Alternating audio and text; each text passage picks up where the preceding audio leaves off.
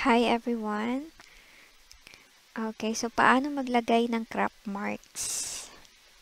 Crop marks or corner marks or trim marks.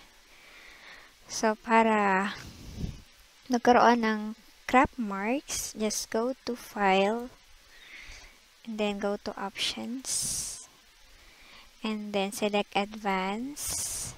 So hanapin natin yung Show Document Content show document content. So, under this, select lang natin yung show crop marks. Then, click OK.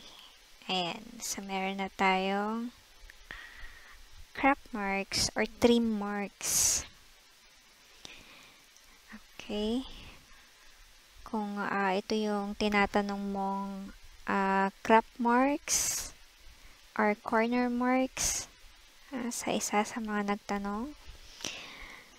Okay, and to hide naman, to hide this uh, crop marks, so ganun din ang gagawin. Kasi pag hindi natin in-uncheck yung crop marks under show document content, no, so magkakaroon ng crop marks kapag nag-create tayo ng new document.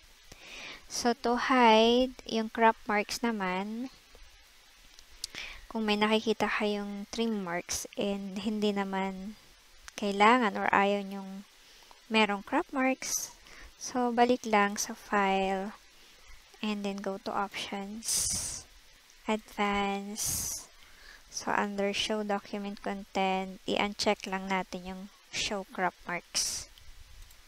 Okay. So that's all for uh, for this video. Thank you. Thank you for watching.